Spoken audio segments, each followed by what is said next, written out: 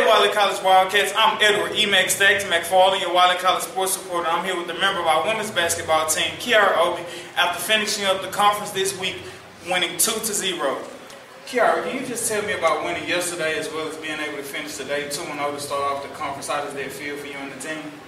Feels good. That's, that's all I can really say. Feels good. I'm glad our team came out and played together as a team, and we got the win talking about getting a win, you came off the bench tonight and you had 24 points and 8 rebounds. So can you just talk about your mindset as they took the lead, but soon after that you came back and gave your team an extra push to finish strong? Coach, coach just tell us keep playing, keep playing. We can't take anybody light. You know, you gotta just go out there and do what you do. Just feel good about doing it. You know, that's all. Right, having that confidence.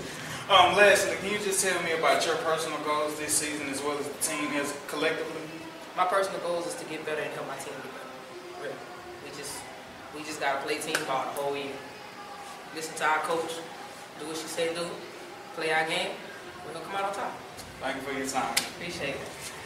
There you have it, Wiley Wildcats. I'm Edward E. Stacks McFarland, your Wiley College sports reporter. Take care and catch the stats for next time.